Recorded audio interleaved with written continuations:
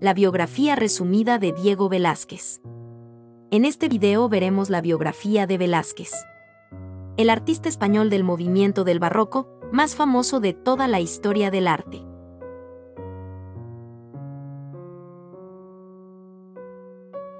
Diego Rodríguez de Silva y Velázquez. Nace en Sevilla, España, un 6 de junio del año 1599.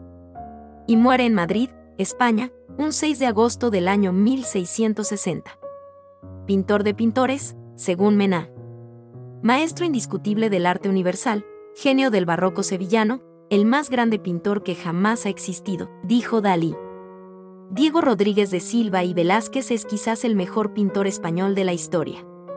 Su obra fue ampliamente estudiada por maestros de épocas posteriores e influiría en artistas tan dispares como los anteriormente citados Dalí o Mená. Atraído por la nueva iluminación tenebrista de Querevallo, fue uno de los introductores del estilo en España, y por su evidente talento se convirtió en pintor de la corte de Felipe IV en la que fue la época más esplendorosa de la cultura española. Sin embargo, no fue hasta el siglo XIX que alcanzó el estatus de leyenda, cuando los impresionistas lo convirtieron en referente. Desde entonces Velázquez es aclamado como el mejor pintor de la historia. Desde muy joven Diego Velázquez dio muestras de su talento y pudo ingresar en el taller de Francisco Pacheco. Entre maestro y discípulo se creó una firme amistad basada en la gratitud de Velázquez y el orgullo de Pacheco. Incluso le ofreció la mano de su hija Juana a su aventajado alumno. Muy pronto se le hace pequeña Sevilla e intenta una posición en la corte de Madrid, donde sabe que el monarca Felipe IV, a pesar de sus pocas luces como estadista, es un gran aficionado a las artes. No lo consigue y regresa a Sevilla donde empieza su primera época con un estilo manierista muy veneciano, pero adoptando los claroscuros de Querevallo. Es el realismo barroco, que arrasa en la época y que el pintor maneja como nadie lo había hecho hasta ahora. En su segundo viaje a Madrid, ahora sí recibe Velázquez la atención del conde duque de Olivares, quien lo recomienda para el próximo retrato del rey. Felipe IV quedó tan complacido por esta obra que, nada más verla, lo nombró pintor de la corte, trasladándose el artista al Palacio Real y pudiendo viajar asiduamente a Italia.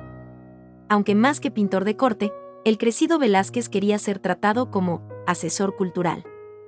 El caso es que disfrutó desde entonces un sueldo fijo y acceso a toda la cultura de la época. De sevillano de a pie a figura importante del palacio en pocos años. Es por ello que muchos creen que además de su innegable talento, Velázquez era bastante trepa y muy cercano con el rey.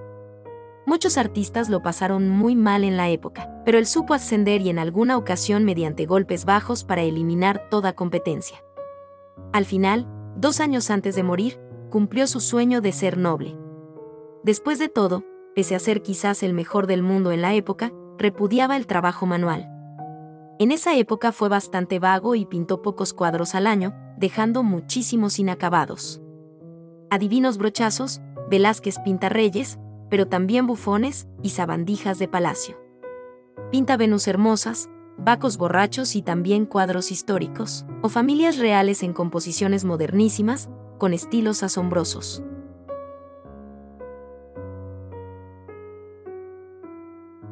Espero que te haya gustado el video. Si es así, por favor regálanos un like y tu suscripción para que así el mundo del arte en YouTube siga creciendo.